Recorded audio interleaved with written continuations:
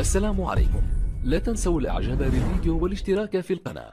تشجيعا لنا لنستمر بنشر المزيد إن شاء الله. ذات مرة أصر أحد النحاة على أن يحدث أولاده باللغة العربية الفصحى لا بغيرها. وذات يوم طلب من ابنته أن تحضر له قنينة حبر. فأحضرت ابنته القنينة وخاطبته هذه هي القنينة يا أبي بفتح القاف. فقال لها اكسريها فما كان من البنت إلا أن رمت القنينة على الحائط بقوة. فتناثر الحبر ملوثا الجدار وما جاوره من فرش. فقال لها يا هذه اكسري قاف القنينة كسر الله رأسك. قيل لأعرابي أتحب أن تموت زوجتك؟ قال لا. قيل ولما؟ قال أخاف أن أموت من الفرح. بشرت امرأة زوجها البخيل أن ابنه قد اتزع أي خرجت أسنانه. قال لها أتبشرينني بعدو الخبز؟ فما اكتفيت بمنافستك لي في طعام حتى تأتي بآخر ينافسني؟ ويحك الحقي بأهلك فأنت طالق. أتى الأعمش أضياف فأخرج لهم رغيفين. فأكلوهما. فدخل فأخرج لهم نصف حبل قط وهو علف البهائم فوضعه أمامهم وقال لهم أكلتم قوت عيالي؟ هذا قوت شاتي فكلوه. حضر أعرابي مجلس قوم يتذاكرون قيام الليل. فقيل له يا أمامة أتقوم الليل؟ قال نعم. قالوا وماذا تصنع؟ قال أبول وأرجع لأنام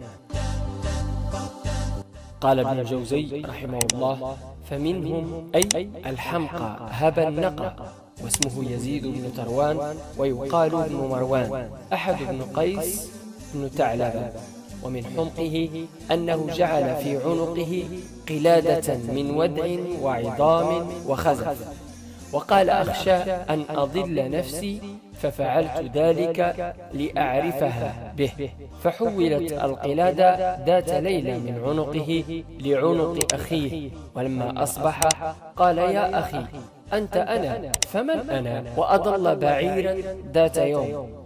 فجعل ينادي من وجده فهو له. قيل له فلما تناشده؟ قال فأين حلاوة الوجدان؟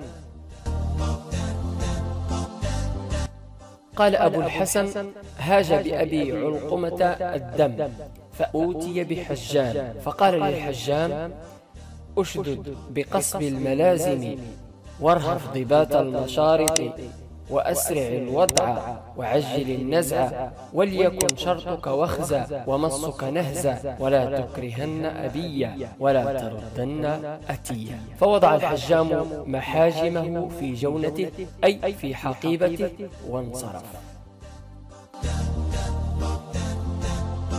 حدثت لأبي علقم النحوي علة فدخل عليه أعين الطبيب يعود.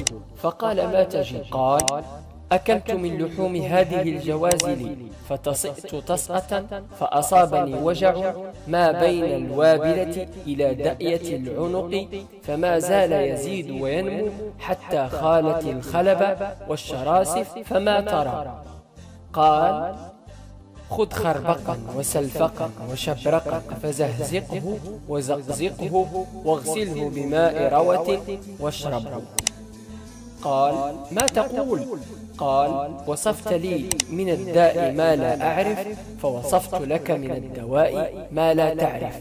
قال ويحك فما أفهمتني. قال لعن الله أقلنا إفهاما لصاحبه. كان لبعضهم ولد نحوي يتقعر في كلامه فاعتل أبوه علة شديدة أشرف منها على الموت. فاجتمع حوله أولاده وقالوا له ندعو لك فلانا أخانا. قال لا إن جاءني قتلني. فقالوا نحن نوصيه ألا يتكلم. فلما دخل عليه قال يا أبت قل لا إله إلا الله تدخل بها الجنة. والله ما أشغلني عنك إلا فلان. فإنه دعاني بالأمس فأهرس وأعرس وأعدس واستبدج واستكبج وطهبج وأفرج ودجج وأبصل وأنظر ولوزج وفلوزج.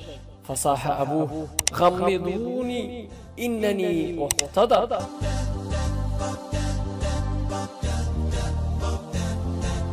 قال رجل نحوي لابنه إذا أردت أن تتكلم بشيء فأعرضه على عقلك وفكر فيه بجهدك حتى تقومه ثم أخرج الكلمة مقومة.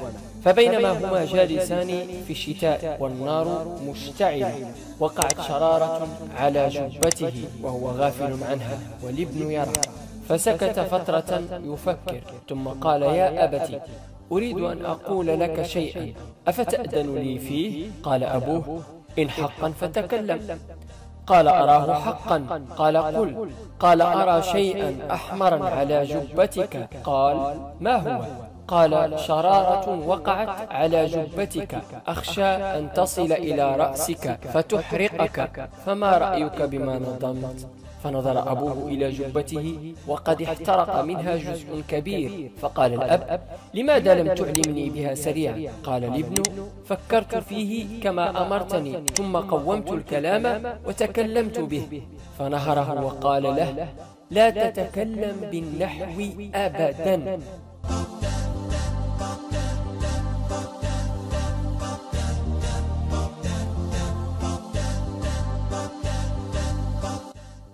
من فنون الرد المفحم. من فنون الرد المفحم.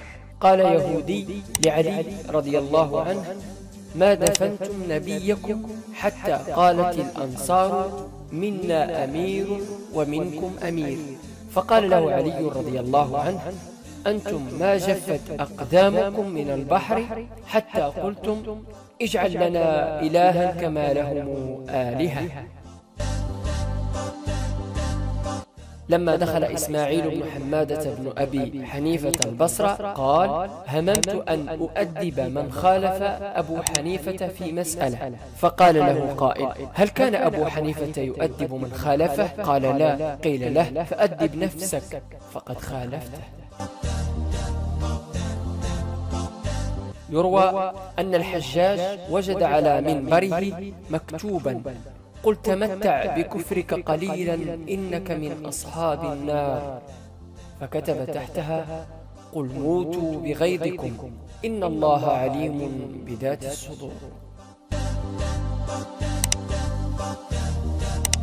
تزوج أعمى امرأة فقالت له لو رأيت بياضي وحسني لعجبت قال لو كنت كما تقولين ما تركك المبصرون لي. فقالت له ابتلاني الله بعماك وقبح لسانك.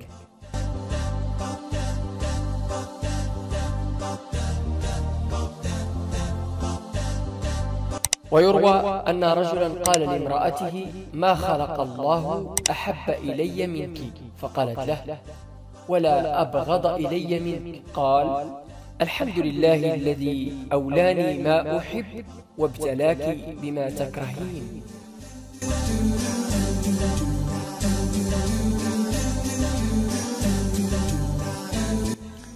أعلن أحد الملوك في أرجاء مملكته ما يلي.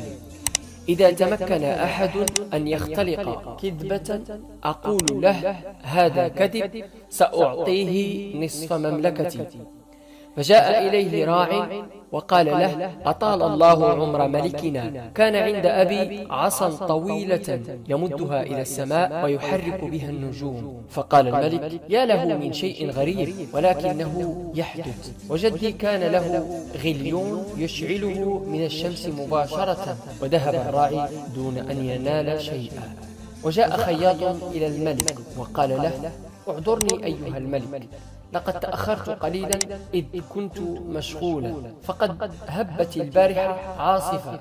شقق فيها البرق السماء. فذهبت لأصلحها. فأجاب الملك أحسنت عملا. لكنك لم تخطها بشكل جيد. فاليوم صباحا تساقط رذاذ من المطر. وذهب الخياط أيضا دون أن يلال شيئا. وجاء فلاح يتأبط برميلا. فقال له الملك ما شأنك والبرميل؟ قال الفلاح جئتك أسترد برميل الذهب الذي أقرضتك إياه. فصاح الملك أأنا مدين لك ببرميل من الذهب؟ قال الفلاح نعم. فقال الملك لا هذا كذب. قال الفلاح إن كان كذبا فأعطني نصف مملكتك. فأجاب الملك على الفور لا لا هذا صحيح. قال الفلاح إن كان صحيحا فأعطني برميل الذهب.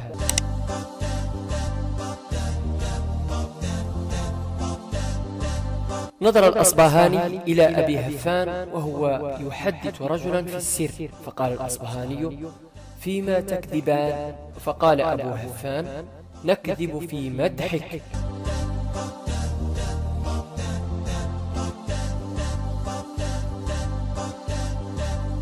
جادل أعرابي هشام بن عبد الملك فعاتبه هشام على مجادلته.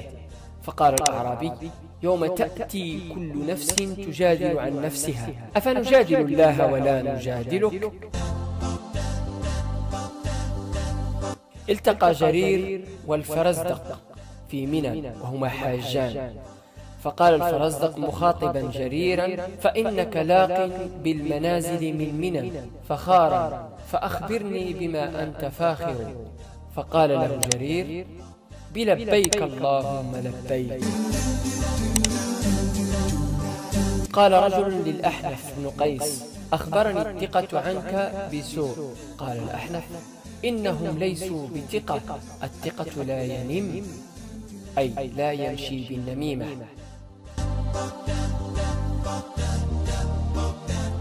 قال عثمان بن دراج الطفيلي وكان بخيلا مرت بنا جنازة يوما وكان معي ابني وكان في الجنازة امرأة تبكي وتقول الآن يذهبون بك إلى بيت لا فراش فيه ولا غطاء ولا وطاء ولا خبز ولا ماء. فقال ابني يا أبي إلى بيتنا والله يذهبون.